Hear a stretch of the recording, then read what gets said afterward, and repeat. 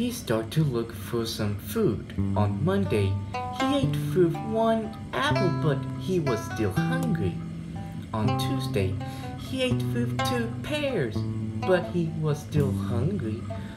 On Wednesday, he ate fruit three blueberries, but he was still hungry. On Thursday, he ate fruit four strawberries, but he was still hungry. On Friday, ate five oranges, but he was still hungry.